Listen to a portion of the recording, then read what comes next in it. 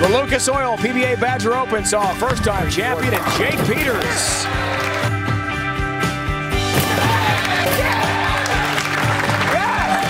Will we see another one and tournament leader Chris Loschetter? The PBA Wolf Open comes up now.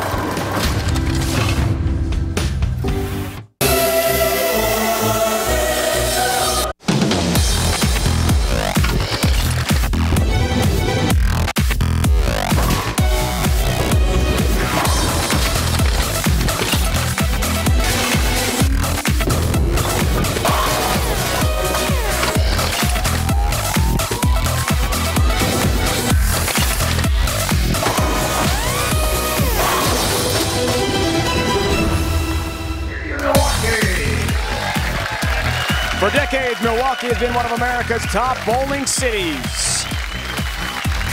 Minutes from downtown is AMF Bolero Lanes. Today, the site of the PBA Wolf Open, all part of the Geico Summer Swing. Here's a look at our stepladder bracket. We have two legends, Hall of Famers Pete Weber and Norm Duke with 74 PBA titles between them, along with former PBA Rookie of the Year Bill O'Neill, 20-year-old EJ Tackett, our top seed Chris Loschetter seeking their first ever PBA title. My Hall of Fame broadcast partner, together again after all these years, is Randy Pedersen, joined by the five seed Bill O'Neill and Pete Weber. And thanks, Dave. What a great opening match we have with these two great players out on this tour. And Bill, I'll start with you. Uh, you're trying to become just the third player this season to win multiple titles, but you have to climb the ladder and you have to take on this guy in the opening match. What does that mean to you? Well, you know, I have four titles, and two of them came from, from the bottom. And I climbed the ladder to do that, and um, you know, it's always an honor to bowl Pete. You know, he's a, a legend of the game, and uh, you know, it just means that much more if I can go out and beat him. What do you have to do to, to knock this guy out first, and then climb the ladder and win this title? I got to get off to a strong start just for myself. It's you know, it's not really about you know what Pete does out there. It's just about me. Good luck. Thanks for your time, Pete. Earlier this season, you collected your 10th career major, winning the Tournament of Champions in dramatic fashion. What was that like for you? Uh, it was awesome, Randy. Uh, couldn't ask for a, a, better way or a better Easter day, actually. So uh, it was a thrill, it was an honor, and uh, it ranks up there. And like Bill O'Neill, you're trying to win your second uh, title of the season, and that would probably put you right at the top of the list for the Player of the Year race, an award you have not won. Have, has that weighed at all on your mind? Oh yeah, it's it's weighed on my mind since 1987 when I thought I should have won, but uh, you know. It, it's just something that I got to put aside and do. Stay focused on what I need to do to win this this tournament here. Pete, good luck. Thanks. It's the only thing the great PW has not done. 32 feet. Wolf replaces Cheetah as the shortest oil pattern, the PBA lane pattern library, the short oil design, placing an emphasis on attacking the pattern correctly from the very beginning with the intent of stretching the pattern down the lane. We have high scoring potential today. The number five seed is four PBA Tour titles, including one major from Langhorne, Pennsylvania, the real deal, Bill O'Neill.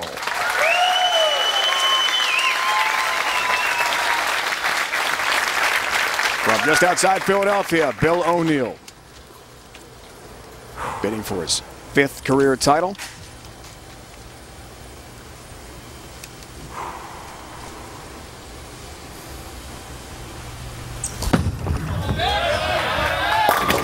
Start.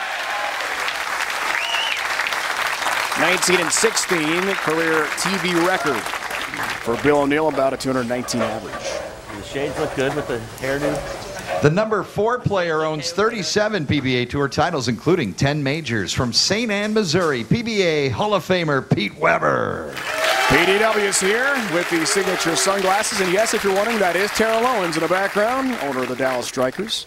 And that's uh, Pete showing off a new deal. I asked him, uh, who's your who's your stylist? He said, number ones. We will speak with NFL superstar Terrell Owens on our broadcast today. Can't wait.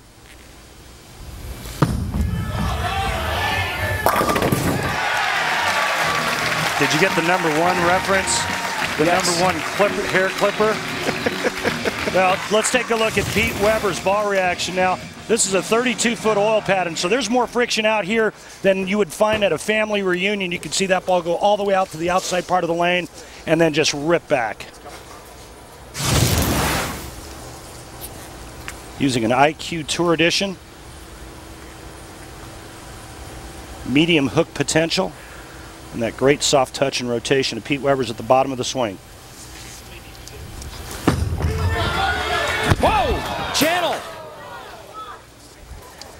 Lost it. Well, we didn't see a whole lot of that on the Wolf oil pattern because there is so much friction to the right. And this one looks like Pete just kind of Nice loses it off his that. hand. The good news is he's working on a strike so he doesn't lose pin count if he's able to come back and make the spare. Make the Oh,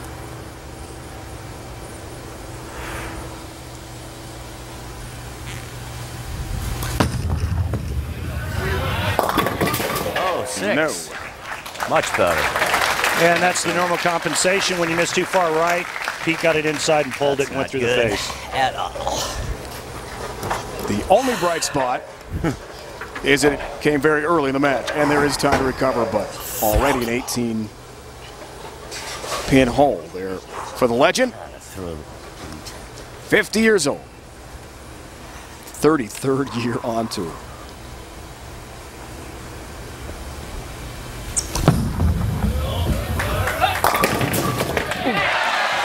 Messenger takes out number 10. Yeah, that was a massive messenger.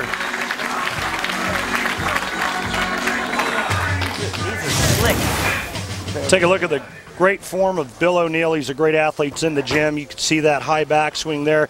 This is a great position to be in with this leg knee, the knee bend there, and that open shoulder at the foul line. Now watch the head pin come across and just look like it was shot out of a cannon right into the 10 pin.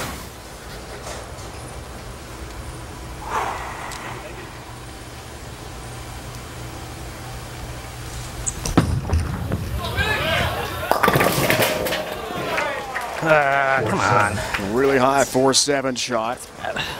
That's bad. Well, just a bad shot from Bill O'Neill. Got it inside of target. And one thing you can't do on a short oil pattern is pull it because there's just not enough oil to hold the ball on line. No surprise to me, though, Dave, that Bill O'Neill did so well on this short oil pattern.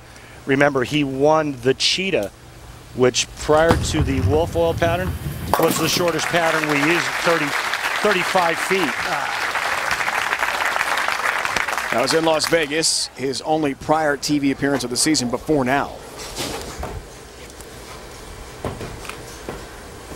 Throw the ball. Tracy Weber, Pete's wife there. She is. Pete's right. I was side by side with the legend for so many of his big moments. They're expecting two grandkids in the fall. That's a nice adjustment. Perfect. Shot into the pocket. Tracy told us before the match he still loves it. TV day, nothing quite like the show. She goes through all the drama Pete does. This is just a beautiful shot here. Look at how quick that ball's out of his hand and peels off about the, the three board back into the pocket perfectly. Now, see what he does here on the left lane.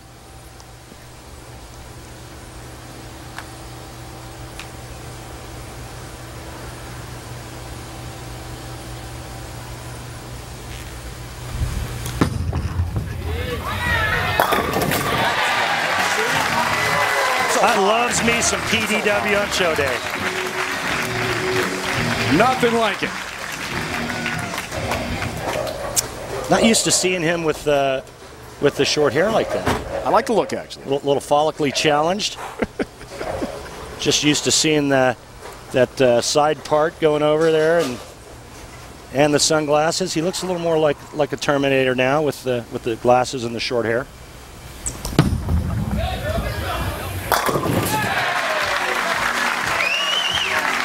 Bidding for his fifth career title. He told us yesterday. Pretty good. Been on TV enough now. No more text messages or phone calls from back home to congratulate him like there used to be when he first made a lot of shows. That great rookie season he had. 0506 PBA Rookie of the Year. His arsenal, Randy. What do you see here? Arson low flares, a, a ball that uh, that doesn't cover a lot of ground that he can keep in front of him. He's going to use that because of the high friction. Much more controllable.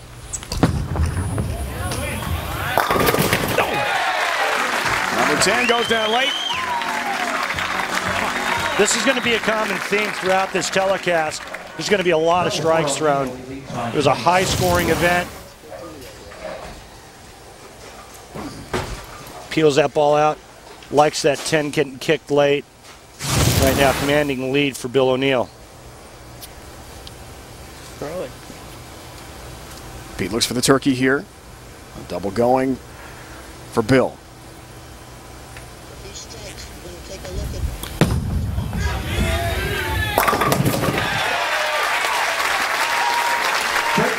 All right, so as Pete has been perfect on the right lane, let's take a look at his two shots on the left lane. Remember this one? That was in the second frame, goes right in the gutter. Pete came back in the fourth frame, though, and made a beautiful shot here. Kicks the 10 out. Pete Weber working on three in a row.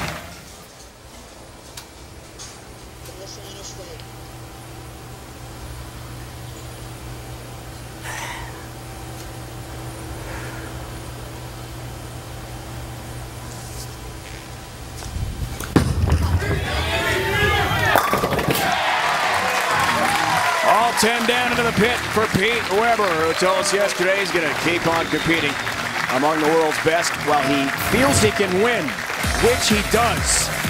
37 career titles already for the Hall of Famer. Will this be number 38 today in Milwaukee? He's taking on Bill O'Neill. Great match so far.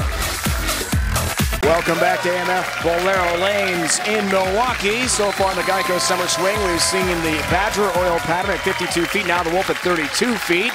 Randy breaks it down with an on-lane demo. Well, I had an opportunity to both bowl on both oil patterns. This is my attempt at striking on the Wolf. You can see just how much friction there is. Look at how this ball just bounces from the outside part of the lane. So when I went over to Badger, I stood and looked at the exact same target. And that was the result. And that shows you just how different and how extreme the two oil patterns are.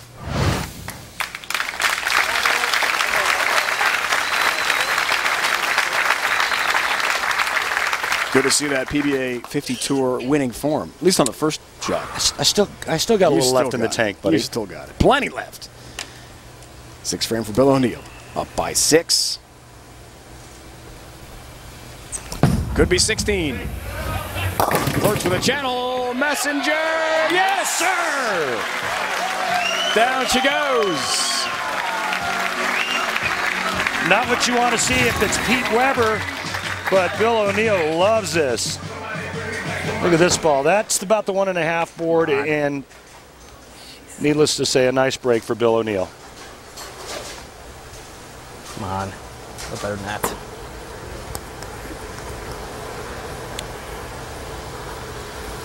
He will take it. He was almost ashamed. Madly. Looks for the four bagger, seventh frame. 16 pin match right now. Shot. No! Again! Cross deck scout. Bill O'Neill just throwing some serious wood. How about another messenger? Watch the head pin, sidewall, and just comes off of that left sidewall like it just got catapulted into the 10. But remember who this guy is. That's PDW. Living legend. Looks for a five bagger. To pull to within 16. Which he does. Perfect. Whoa! 7-9, we're standing late. That ball was so high flush. Have a re-rack, please. Season average leaders. Jason Belmonte, Player of the Year candidate. Former Player of the Year, Wes Malott. Last year's top player on the PBA Tour, Sean Rash. Along with Pete and Bill competing here today in Milwaukee. And I got to tell you, those averages are extremely high.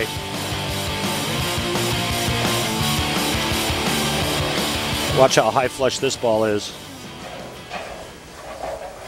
Nine gets tripped, seven gets taken out by the bowling ball practically. Pete Weber can cut the deficit to six. He's got to keep striking. Max Scorpert Weber, 262. O'Neill can shoot 278.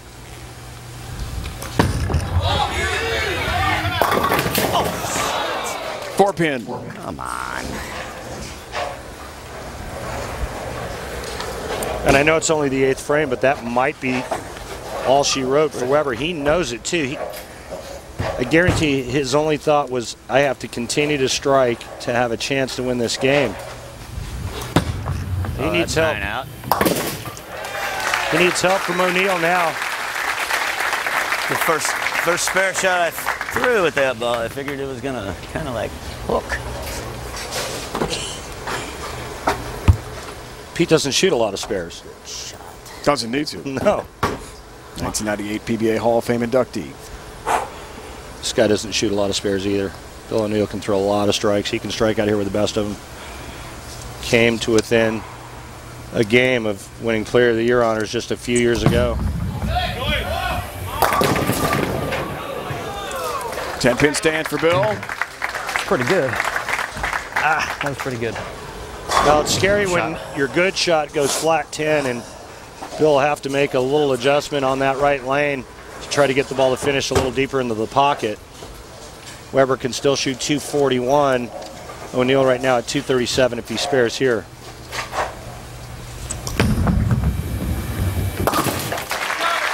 Picks it up with a 10 pin.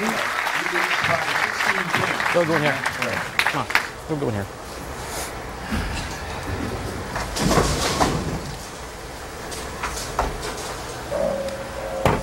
Still 16 pin deficit for Pete Weber.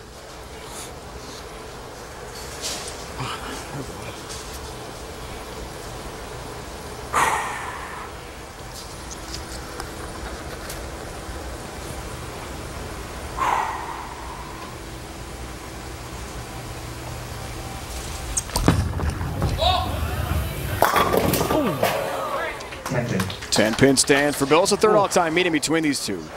On pretty good. TV, it's 1 1 so far. Well, now it's a plethora of 10 pins for Bill O'Neill. He needs a double in the 10th to lock out Pete Weber, a double and good count no matter what Pete does. But he's still in the 230s right now. Weber can get to the 240s. Right now, PDW thinking about that four pin he just left in the eighth frame, going, man, if I could have just run it a little better. Could be a different story. 10 pin again. Pete's only chance, Dave, is to strike out.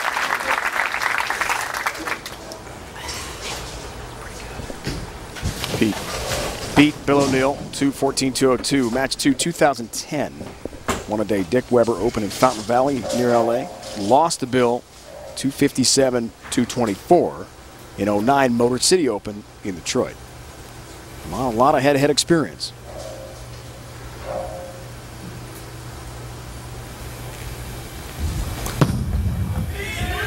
Foundation frame. Big strike. Strike four to Weber. Bill by 15 pins. 10th frame. sets up the 10th frame for him. We've seen crazier things happen. Weber must strike out to put all the pressure on Bill O'Neill. Weber doubles here in the 10th frame. O'Neill has to double in the 10th frame. Yeah, that could be interesting.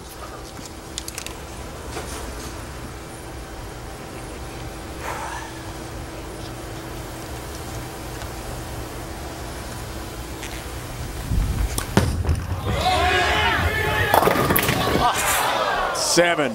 Probably the best hit of the day. Hard to believe that didn't strike. Four pin light. Pete gives us a little extra.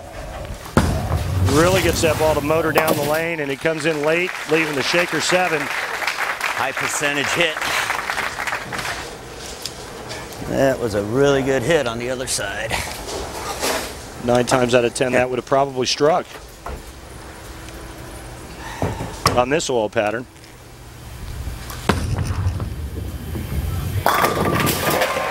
There's that perfect shot he's looking for. And his 128th career TV appearance. One bad frame cost you. That was a big bad frame too. O'Neill needs eight on the first ball, and it's all over.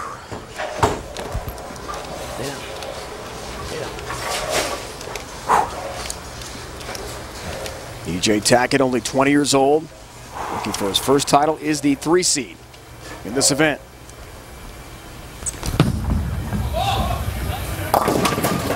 Seven.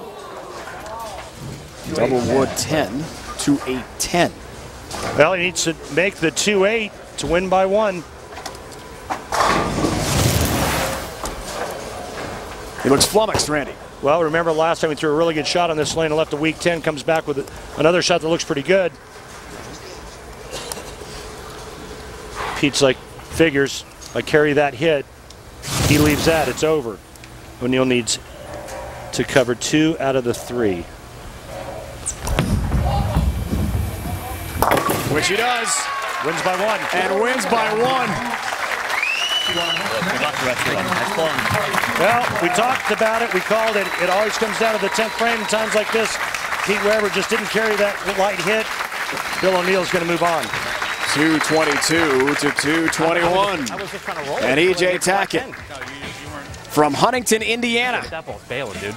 Oh, yeah, it's starting to get lazy. Only Yeah. 20 years old mean, I couldn't- awaits Bill O'Neill in the next match. I mean, I just wanted to roll with flat head. Bill O'Neill in his third head-to-head matchup on TV with the legendary Hall of Famer Pete Weber. Takes PDW down. O'Neill advances. Pete's day is done.